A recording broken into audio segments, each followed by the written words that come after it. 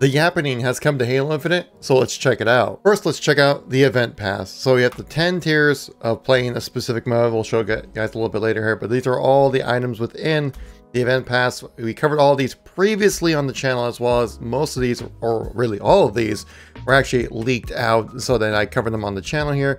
If you guys haven't seen that video, definitely check it out, but you can kind of see a lot of the customization is actually kind of cool, some pretty cool stuff in here. Now I know waiting around for Halo Infinite to get into a good spot can be a pain for a lot of us, but you know what is a worse pain for you to experience? Pain from improper posture. And that's what FlexiSpot, the sponsor of this video, wants to help provide relief from. FlexiSpot recently sent me the Pro Plus Standing Desk E7. And let me tell you guys, this desk is a total game changer. As someone who works from home all day and then does Twitch, YouTube content creation on the side at home all day, I spend a lot of time clicking buttons and sitting down. Well, with this sit stand desk, that problem is alleviated. As someone who's 6 foot 4, a rather tall person, the FlexiSpot Pro Plus Standing Desk E7 is definitely tall enough for me to be able to stand while working and also be sitting in a comfortable position. I love how the desk keypad has memory settings so I can set it to exactly the height that fits me properly sitting and also standing. And the keypad has a USB connector to it so I can charge my phone while I'm at work. The funny thing is I actually owned a FlexiSpot desk before this sponsorship and now that old desk is now my dining room table. So if you're in the market for a sit stand desk, I highly suggest FlexiSpot. My affiliate link is in the description and the pinned comment down below.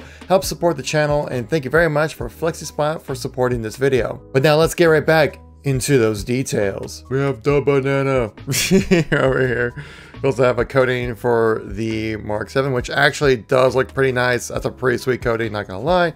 I'll definitely will be grinding that out. For this is actually a event pass as a whole.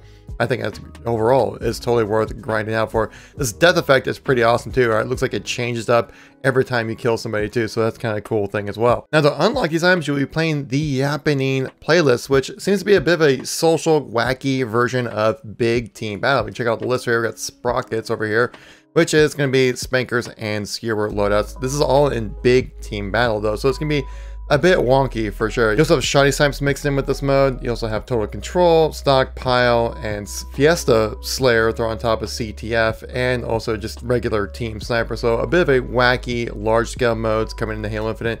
Granted, nothing like too crazy where it's like, oh my god, like I gotta play this. But again, like it's a nice mix up of just being able to play some new stuff within Halo Infinite with some pretty cool cosmetics on top of it.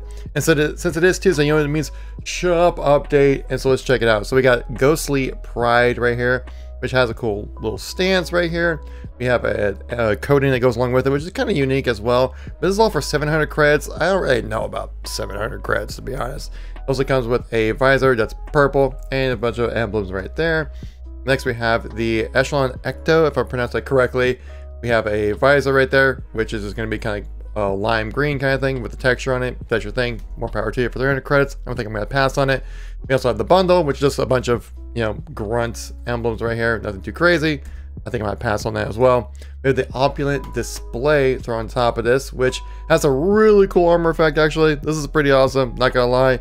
Uh, but for 1100 credits though, it's a bit on the high end side of things. Uh, but I just wish there was something a little bit more to this bundle for the most part. But we have a bronze coating here. It looks, again, pretty nice. But again, you have to pay 1100 credits for it. And then after you get a bunch of emblems, so just a bunch of filler stuff really kind of more like three bits of actual customization. One thing always kind of surprises me that like they do have an animation set with these poses, right? You can see right here, it's not just like a static image. Why don't we have like any kind of end game poses that have like an actual animation to it, like pointing at the screen or doing something a little more than just kind of like generally just standing still for the most part and having like an idle pose to it. Obviously, they have the ability to put animations into these poses. Why not actually have poses that have actual animations that look like you do something when you win the game? I don't know, I think that'd be something that would sell, but hey man, I'm not a developer, so I don't know. But this is pretty much most of the parts coming around with the Yappening. Let's actually try to jump in, and see if we can actually play a game and see if uh, we get some crazy stuff when it comes to the Yaps. Big team snipers. Okay, we'll see how it plays out when you have the entire lobby with a sniper rifle in big team battle. This is gonna be a bit nutty. We're gonna pick up a camo here, okay. There we go, first kill. I wonder if I, I'm camo if they can see the scope glint or not. Oh no, I can't. I can't no scope. What's the problem? Ah! I run up. That's why we don't have a secondary. I still get the kill though. We're good. Oh, we're we're continuing on the magic here. Oh, the little jump shot. Kobe. Now the camo just spawned back up. Worked well the first time. Let's make it happen the second time. Yep, still works. Yeah, him too. Oh god, there's too many people looking at me now. Let's go spooky mode here.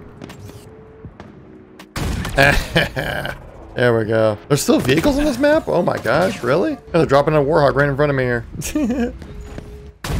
Actually, this is a perfect example to showcase the new scope glint nerf. For now, you don't have like a whole like solar flare happening out of your out of your scope every time you look in. It's it's still noticeable for sure, but not nearly as like a solar flare happening on your screen every time someone scopes in like it was before. But definitely was needed. And I was grab a vehicle in this and see what happens. In A Team Snipers game with some vehicles. There we go. Got one. Make it two. Oh, we're gonna get this guy too. Here we go. Yeah. Oh, no. oh and we're done. hey, using vehicles and team snipers, they worked out all right. Oh, and we get the dub for the first game. Let's go. Oh, look at that. Challenge is completed as well. We actually didn't look at the challenges. Let's check that out while we're uh, still accumulating all the good stuff here. So a lot of the challenges are pretty good here, right? Like play land grab, which is kind of weird for a challenge, but obviously it's not part of the event. We also have the Wart Charm here for the weekly ultimate, which we covered previously on the channel as well.